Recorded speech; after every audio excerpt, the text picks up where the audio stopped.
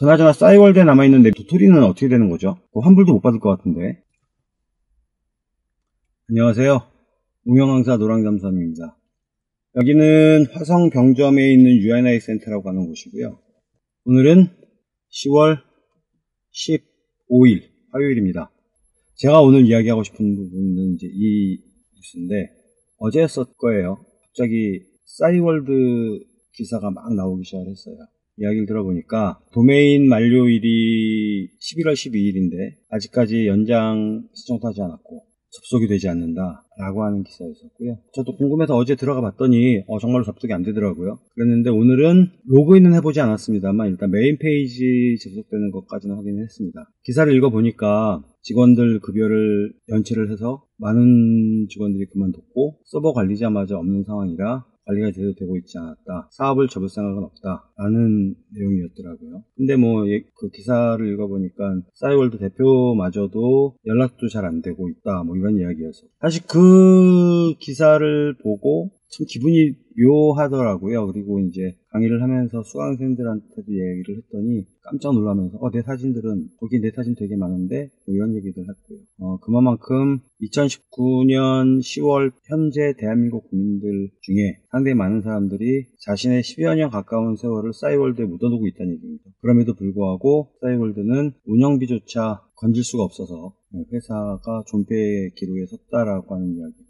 사람은 이제 누구나 무언가 계기가 되면 이제 옛날을 생각하게 될 텐데 저는 오늘 이제 그 기사를 보면서 저와 싸이월드와의 인연을 생각하게 되더라고요. 물론 뭐 저 혼자 특별한 건 아니고 많은 사람들이 자신만의 어떤 싸이월드 이야기들을 갖고 있겠습니다만 저는 싸이월드를 통해서 강의 관리를 참 많이 했었기 때문에 그런 부분들에 대한 추억이 좀 많이 남아 있습니다. 제가 싸이월드를 처음 알게 된 게 2000년대 초반이었던 것 같아요. 정확하게 뭐 몇 년도까지인지 모르겠습니다만 어느 날 메일이 한 통이 왔어요 저한테. 뭐라고 왔냐면 뭐 아무개님께서 일촌 맺기를 신청하셨습니다. 뭐 이런 식의 메일이더라고요. 이게 뭐야 일촌이 뭐야? 그러면서 들어가 봤는데 싸이월드였어요. 이런 서비스도 있네? 라는 생각으로 회원 가입을 했고 그러면서 미니홈피라고 하는 그 자그마한 공간에 사진도 좀 올려보다가 그러다가 저는 이제 사실 거기에서 뭘 발견을 했냐면 이제 클럽을 발견을 한 거죠. 그래서 아 여기에서 강의 관리를 하면 참 좋겠다라는 생각을 했었고요. 그 당시에 제가 그 대학 강의를 몇 군데 나가고 있었는데 경기도 김포에 있는 김포대학이 있었고 서울 가자동에 명지대학교 강의도 나가고 있었고요. 그 다음에 용인에 있는 용인송담대하고 시기가 그때쯤인지 정확하게 는 모르겠는데 가천길 대학도 강의를 나가고 있었습니다. 2년제 시절에요. 네. 음, 아마 가천길 대학은 거기서 관리를 하지 않았던 것 같고 가천길 대학 강의가 끝나면서 아마 그 싸이월드를 알게 됐던 것 같아요. 어, 최소한 그 세 군데 이상의 학교를 싸이월드를 통해서 싸이월드 클럽을 통해서 관리를 하고 있었습니다. 개인적으로 되게 관심을 갖고 애착을 가졌던 대학 학교가 어디였냐면 명지대학교였습니다. 김포대학 같은 경우는 이제 겸임으로다가 근무를 하기도 했었는데 왜 그런지 모르겠는데 어쨌든 명지대학교에 되게 관심이 많았었고 애정을 갖고 있었던 기억이 납니다. 거기서 강의하면서 강의 교재로도 책도 한 두 권인가 썼던 기억이 나고 강의하면서 학생들 이제 과제도 싸이월드 클럽으로 통해서 받았죠. 그전에는 디스켓으로도 받고 CD도 받고 막 그러다가 싸이월드가 생기면서 클럽에 업로드하는 방식으로다가 바꿨고 제가 학생들한테 전해주는 강의 자료도 싸이월드 게시판에 춘부 파일 형태로도 올리고 그렇게 강의를 했었어요. 어, 그러다가 학기 말이 돼서 이제 종강을 하고 기말고사까지 다 치르고 이제 성적까지 내고 난 다음에 학생들한테 인사를 좀 할까 싶어서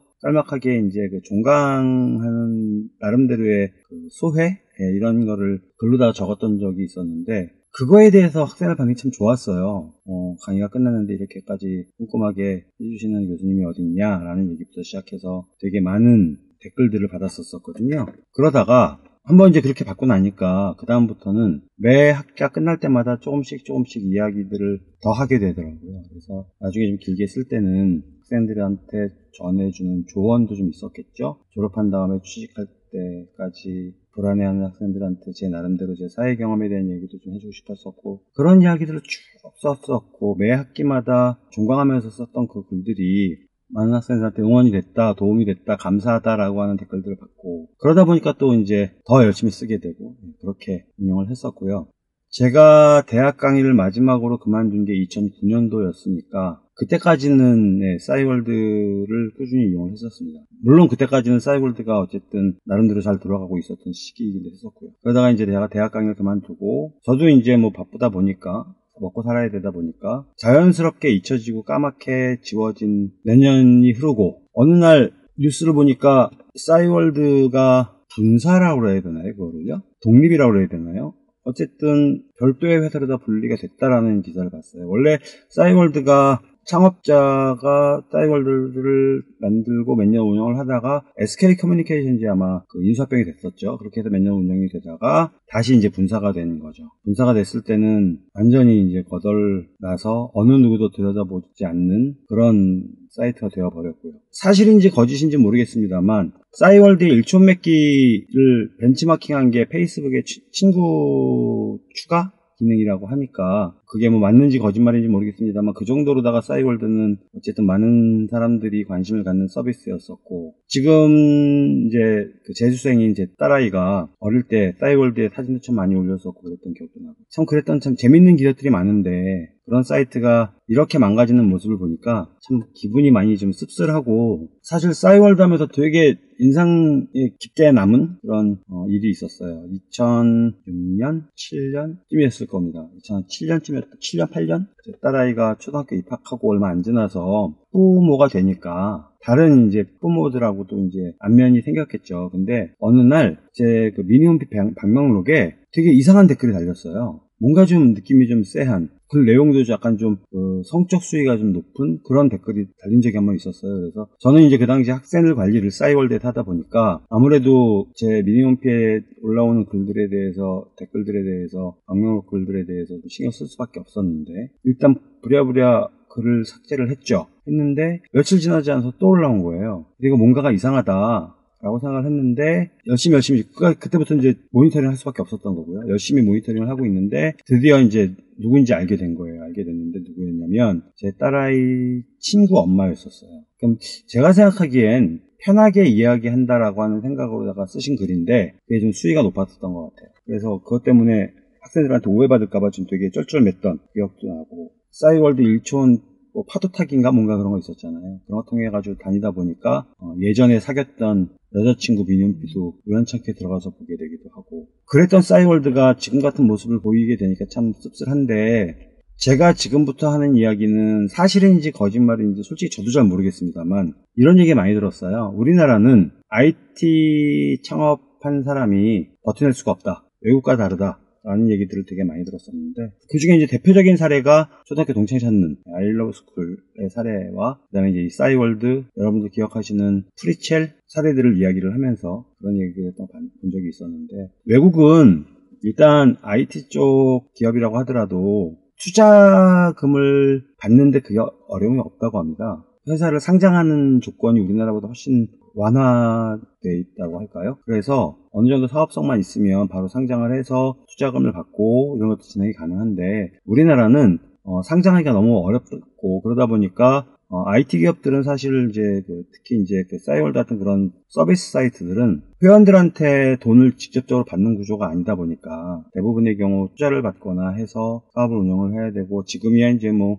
광고 수입도 있고 뭐 이런저런 것들이 있습니다만 그런 것들이 제대로 정립되지 않았던 시절에는 참 수익 모델 찾기가 쉽지 않았겠죠. 어, 똑같은 그런 시기를 거쳐오면서 미국의 페이스북이나 이런 류의 회사들은 어마무시하게 돈을 벌었지만 우리나라는 대부분의 경우 대기업의 인수합병돼서 몇 년 명맥을 유지하다가 문을 닫거나 하는 경우들이 대부분이죠. 사실 저 같은 경우에는 2000대 초반에 이제 그 저도 IT 쪽 사업을 한번 해보고 싶어서 준비를 하다가 뭐 특허도 좀 내고 뭐 사업자 사업 계획서도 숙성을 해서 투자자들도 만나보고 정보통신부에서 주관하는 벤처 창업 경진대 출품도 해보고 많은 노력을 했습니다만 결국에는 저는 이제 못하고 말았고요. 어쨌든 그 당시에 사업을 벌였던 많은 IT 서비스 업체들이 다 흐지부지 끝나고 말았죠. 완전 초창기 시절에는 그거 있었잖아요. 골드, 골드뱅크. 그 당시에 골드뱅크는 그래도 주식 발행을 성공을 해서 많은 사람들 투자도 했었고 나중에 여행사도 만들고 그다음에 뭐 무슨 금융 서비스도 하고 그랬던 것도 기억을 하는데